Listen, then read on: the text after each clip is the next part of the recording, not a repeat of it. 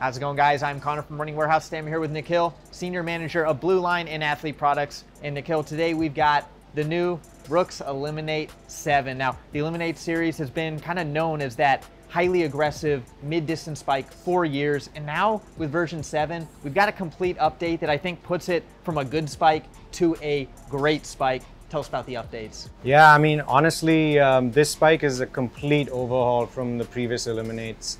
Uh, it still has that carbon fiber plate, full length carbon fiber plate.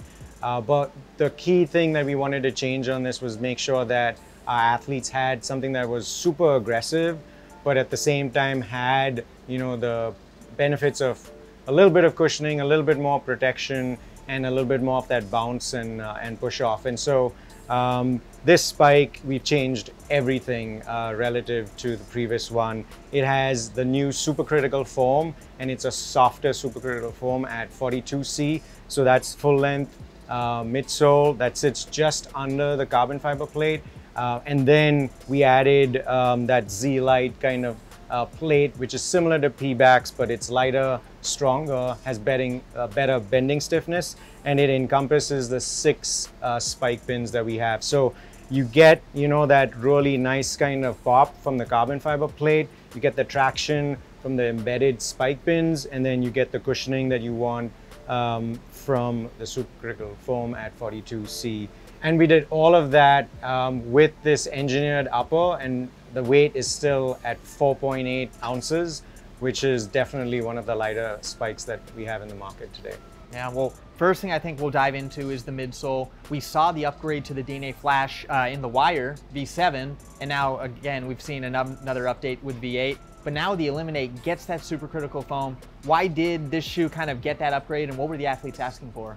Yeah, I mean, you know, it's like the, the game has changed completely, right? Even on the track. And the athletes are looking for something that is super fast, but that provides a little bit of that bounce and responsiveness as well. And so we wanted to make sure that they got that resiliency and responsiveness from the supercritical foam, but we also changed the geometry uh, of the midsole. So we have more of that toe spring as well. That helps with that roll forward. Um, and then the carbon fiber plate is gonna like really help the athlete get up on their toe faster. And so, you know, we didn't have the supercritical foam in the previous spike. And, you know, we heard that from our athletes that we they needed more of that bounce and cushioning. So the super foam, again, is gonna be kind of the big factor with the shoe, but we've also got the carbon fiber plate embedded in. How is that different from some of the past versions? Because I know the ELMN8 was kind of uh, a big step back in 2016 when we saw that carbon plate uh, embedded in. Now we're in version 7.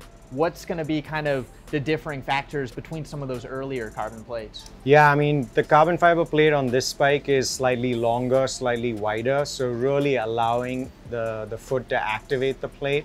And it works in conjunction with the supercritical foam. So in the past, we would combine the carbon fiber plate with the external spike plate.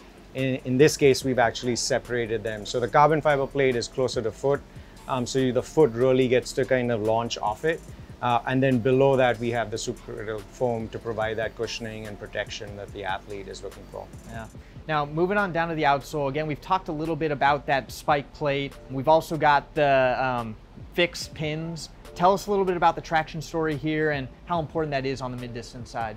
I mean, yeah, it just it, it's it's even more important because you want to have more traction, more grip. You're exerting more force. You're pushing off more. So we wanted to make sure that we had not only the spike six spike pins, um, we embedded them to again shave as much weight as possible. But then we also have this secondary traction that really kind of dives into those uh, track surfaces and provides that additional traction as well.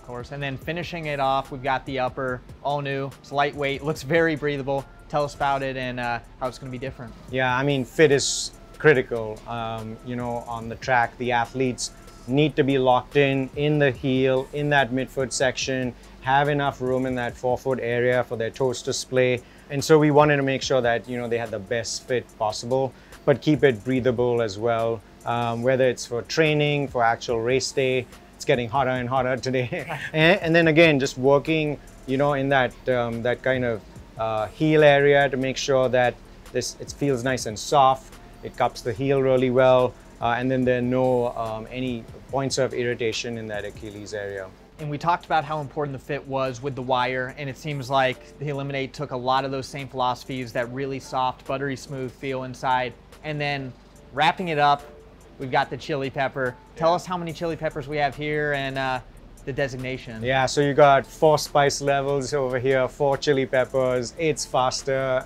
it's spicier. You're gonna definitely break some uh, personal bests. Um, and yeah, and we, we, we did leave one more open space for maybe a future spike that's even faster than this. Perfect. Well, we're going to have to wait and see what comes. From what I've seen, Brooks kind of make huge steps, even from 2016, and then now even in the last year, Brooks is on a very good trajectory, and we're seeing it on the feet of top pros running fast times. I think uh, it's a good time to be uh, running in the spike world because there are so many great shoes. If you're looking to get any of these shoes on your feet, the ELMN8 7, the new Wire 8, it's available now. You can find it here at Running Warehouse.